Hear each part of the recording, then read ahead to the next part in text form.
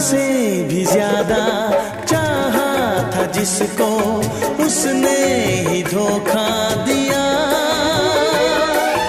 उसने